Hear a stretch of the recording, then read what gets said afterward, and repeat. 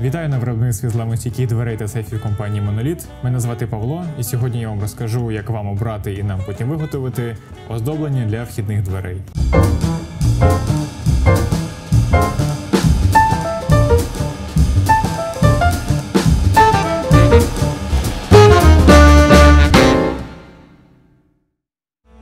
Обираючи бронедвері в квартиру, будинок чи офіс, найголовніше, звісно, це її зламостійкість. Але не менш важливим для багатьох є і естетична частина. Сюди входить і фурнітура, і оздоблення, і зручність користування, що взагалі заслуговує окремого відео, і ми колись його знімемо. Давайте пройдемо послідовно від замовлення до монтажу дверей. Замовляючи бронедвері моноліт, ви отримуєте комплексне рішення, що збалансовано як по зламостійкості конструкції, так і по замкам та їх захисту. Тож вам не доведеться купляти двері в одному місці, замки в іншому, а захист замків залишати на відкуп продавцям з мас-маркету. Але оздоблення це зовсім інша річ. Вона ніяк не впливає на зламостійкість конструкції, тож двері можна виготовити і зовсім без оздоблення.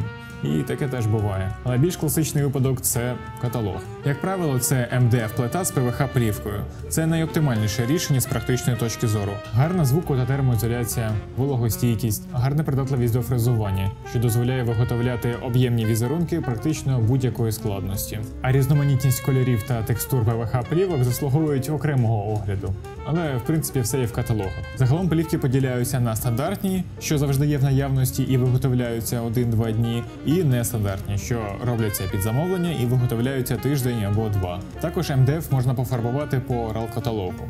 Це знадобиться, якщо дизайном вашого інтер'єру займається дизайнер, і він підбирає кольори всього домашнього убранства по тому ж самому RAL-каталогу. Але RAL фарбування більш дорожче і менш практичне. Воно залишає по собі плями і подряпини. На відміну від нього, ПВХ плівка просто витирається вологою серветкою. Тож, якщо вам не потрібен якийсь конкретний колір, то рекомендую звернути увагу на попередній пункт. Також двері прямо по металу можна пофарбувати звичайною порошковою фарбою.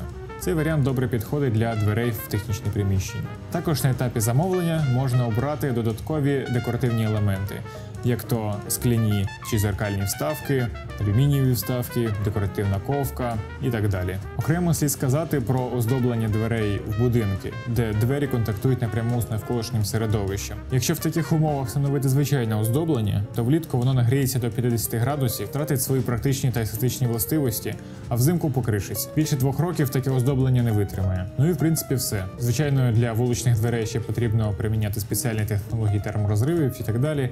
Але про це у нас є окреме відео. Що стосується суто оздоблення, це в принципі єдиний, але дуже важливий нюанс.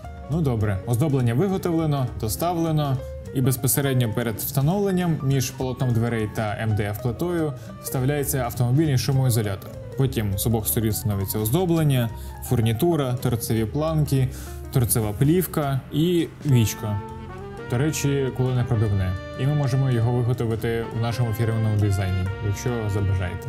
Ну і в принципі все, двері готові до відправки. Якщо у вас залишились питання щодо оздоблення, то ми плануємо запустити онлайн-трансляцію якраз для того, щоб відповісти на всі питання щодо цієї теми. Або не чекайте цього та задавайте питання прямо в коментарях до цього відео.